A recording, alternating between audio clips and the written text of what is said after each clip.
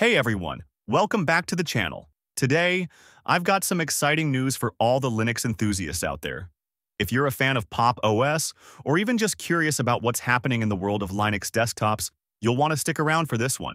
Pop OS 24.04 Alpha is here, and it comes with the brand new Cosmic desktop environment. So let's dive in and see what this release has in store for us. Alright, so first things first, what exactly is Pop OS 24.04 Alpha? For those who may not know, Pop! OS is an Ubuntu-based Linux distribution developed by System76. It's known for its polished look, ease of use, and being particularly popular among developers and tech enthusiasts. The 24.04 alpha version is a pre-release, so it's not final yet, but it gives us a sneak peek at what's coming down the pipeline. And let me tell you, there's a lot to be excited about, especially with the introduction of the new Cosmic desktop. Now, let's talk about Cosmic. This is the star of the show. COSMIC, which stands for Computer Operating System Main Interface Components, is System76's custom desktop environment. Unlike the GNOME desktop that previous versions of Pop! OS were built on, Cosmic is built from scratch using the Rust programming language. Why is this such a big deal? Well, Cosmic is designed to be super responsive, customizable, and user-friendly. It's basically System76's vision of what a modern Linux desktop should be, and they've really gone all in on this. So, what's new in this alpha release? Since this is an early build, not everything is finalized, but there are some cool features worth mentioning. First off, Cosmic brings a fresh user interface that's smooth and intuitive.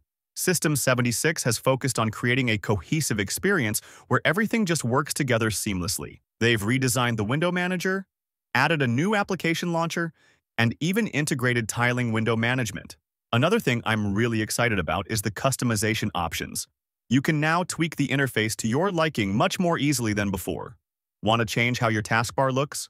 Or maybe adjust the window animations. Cosmic lets you do all that and more. Now, the big question, should you download and try the 2404 Alpha?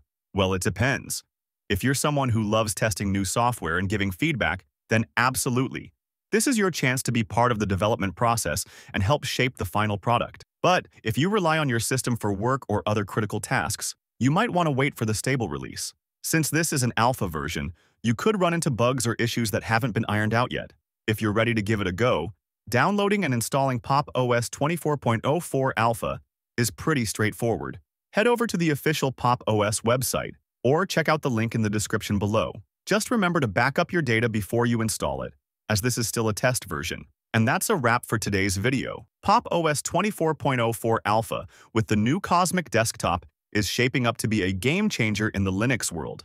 I'm really looking forward to seeing how this evolves as it moves closer to the final release. If you liked this video, don't forget to give it a thumbs up, subscribe for more Linux content, and hit that notification bell so you don't miss any updates. Thanks for watching, and I'll see you in the next one.